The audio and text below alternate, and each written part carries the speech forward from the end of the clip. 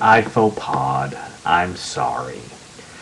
In the original thing called The Thing from Outer Space, I thought it was Boris Karloff who was the thing. It was James Arness from Gunsmoke. My apologies. Once again, I faux pod. I thought it was Boris Karloff who played the original thing in the thing from outer space. It was James R. Ness from Gunsmoke. You can beat me up and egg me now.